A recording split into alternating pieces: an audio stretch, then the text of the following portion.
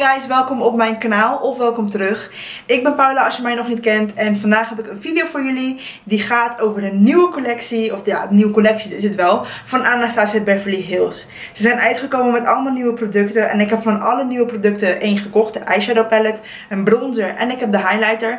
Wat ik niet heb gekocht is een van hun nieuwe kleuren van de liquid lipstick. Ik heb al liquid lipsticks en ik heb zoiets van ja oké, leuk en aardig, maar het is niet nodig voor mij. Maar uh, ja, ik heb dus uh, drie producten gekocht die ik vandaag ga uitproberen. En uh, ik ga vandaag checken of het dus te gehyped is of de hype waard is. Dit is in product, nee, dit zijn producten waar ik echt super excited over was op het moment dat ik het zag. Ik heb het volgens mij gerepost op mijn Snapchat, op mijn Insta story. En ik had er gelijk gezegd, jup, die ga ik kopen. En ik zat ook echt als een debiel achter de computer toen ik uh, dit ging bestellen. Maar ik heb ze zijn vandaag binnengekomen.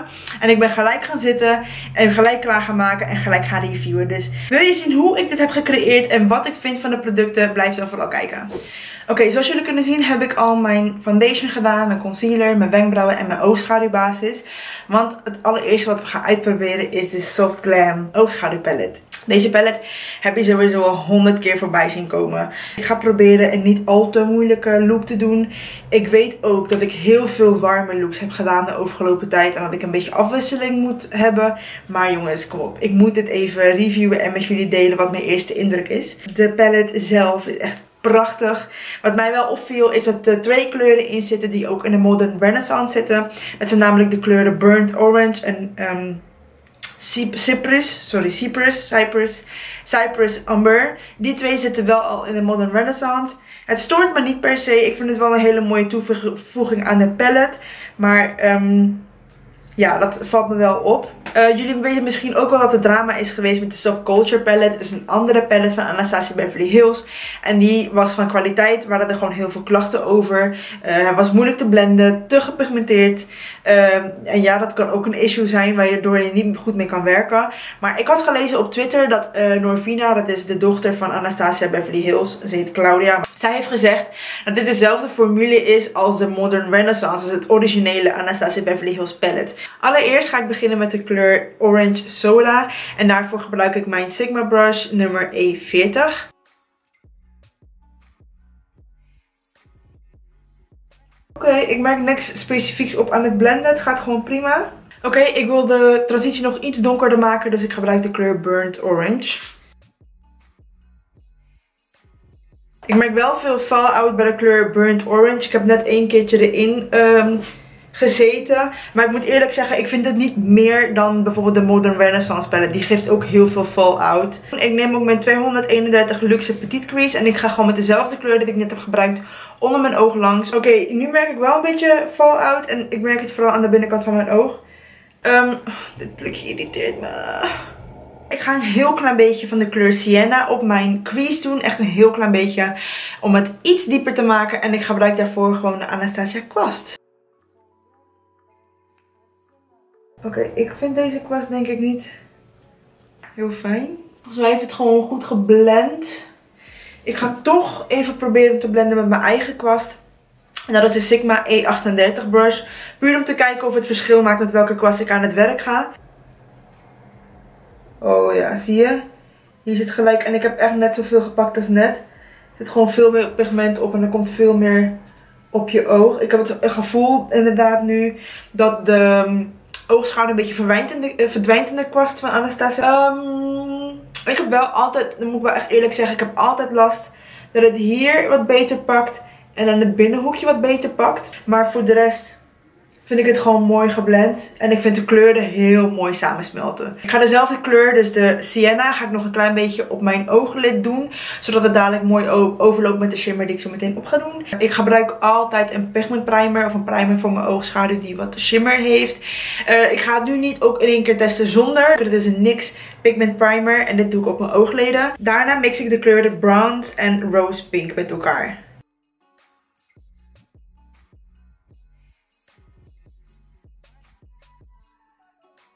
Oh my god, het is zo'n mooie mixkleur.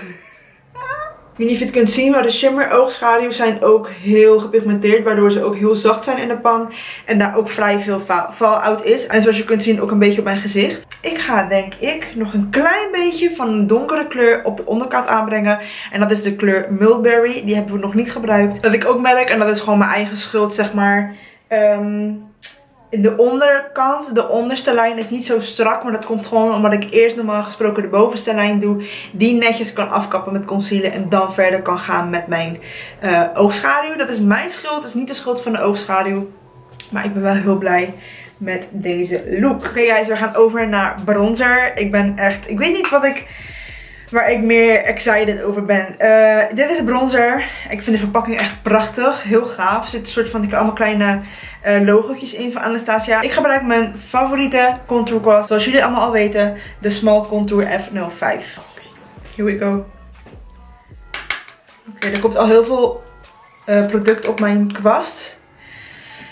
Ik ben benieuwd. Oké, okay.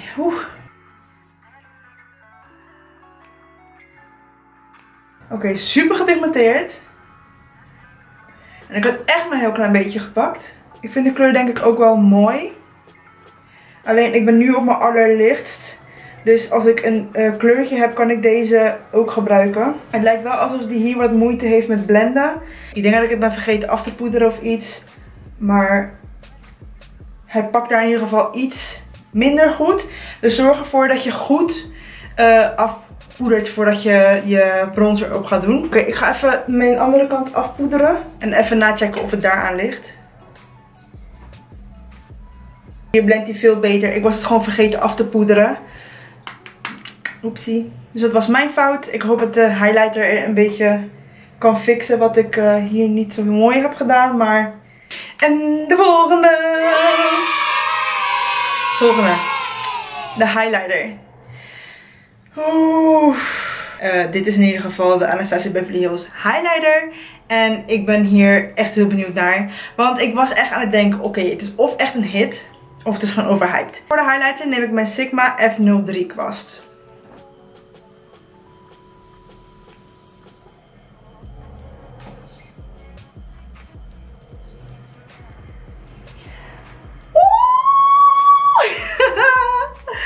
Oké, eerst wat mij opvalt. Hij gaat er heel mooi op. En het is moet ik het uitleggen? Ik heb wel eens goudere highlighters gehad. En dat vind ik wel, uh, dit vind ik echt super mooi. Het is een ander soort goud. Het is niet te, te, te donker en het past perfect bij mijn huidskleur. Dus ik weet niet of dit te licht is voor iemand met een donkere huidskleur. Als ik het zo zie moet ik eerlijk zeggen, zou ik denken van wel. Maar um, het is een kwestie van uitproberen. Normaal gesproken neem ik voor mijn neus een lichtere highlighter dan ik normaal heb. Maar ik ga proberen om deze aan te brengen. Ik ben heel benieuwd of... Want uh, meestal als hij te donker is krijg ik een soort van bronzen laag over mijn neus. En that ain't cute. Dus um, ik hoop dat deze niet...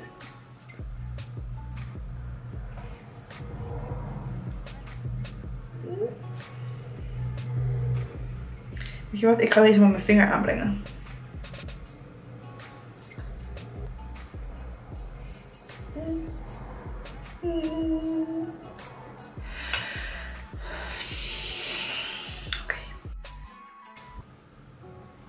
Wat ik ook super mooi vind aan deze eh, highlighter. Hij glowt van alle kanten. Sommige highlighters krijgen gewoon een grijze gloed van, van aan de voorkant. Maar deze niet. I'm glowing all the way around. I love it.